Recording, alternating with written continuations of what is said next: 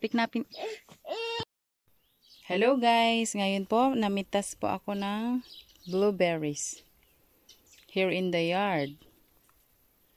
Ayan guys. Ang dahon niya, ayan, ang leaves niya.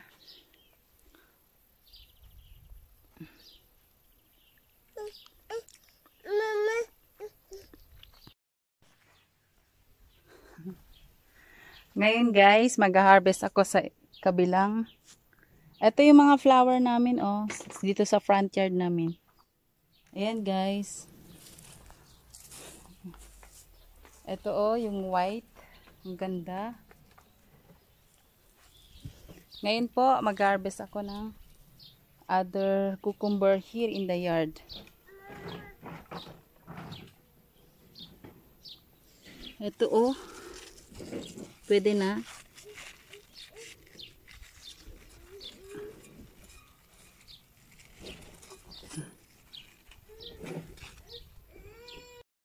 Ngayon guys, mag-harvest ako ng ito dito sa Bulgaria, ang tawag dito ay tikbichki. Tikbichki muna, ang dito yung kalabasa guys. Ayan oh, ayan ang bunga. I-harvest ko na guys. Yan, ang sarap magtanim ng uh, meron kang aanihin. Ayan. Apo may tusok siya. Ito, ito guys, ayan. Ganito pala. Opa. Ayan, may, meron siyang ano, adapay busol na atin. Sa next time. Ayan, hanggang doon. Ayan, masipag kasi ang biyanan ko nag ano, magtanim dito sa yard namin. Ayan, meron pa pang isa. So, ayan po siya. Ayan, oh.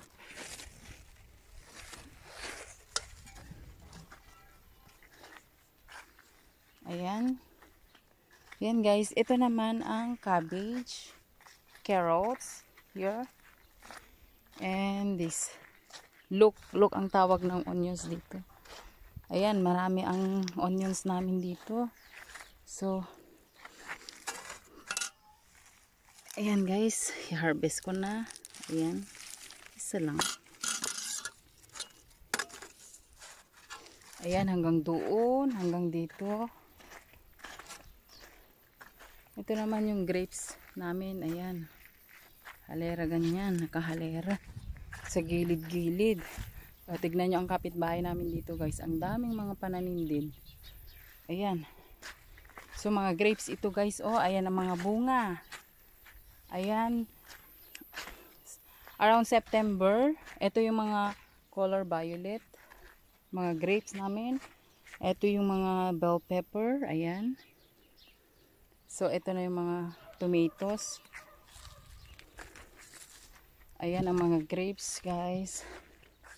So, pipili ako. Ito yung mga may mga bunga na ang tomatoes namin. So, tingnan ko lang yung mga red. Hindi pa siya masyadong red. Para sa salad. Ayan guys. Ito. Meron na. Ito guys. Ito yun. Ayun. Ito oh. Pwede na. Oh.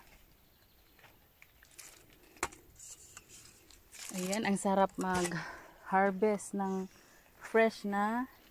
Ito naman guys. Cucumber. Ang sarap mag-harvest ng mga gulay dito sa backyard namin. Ayan. Pwede na rin ito. Ang sarap mag-harvest ng mga tomatoes. Ayan.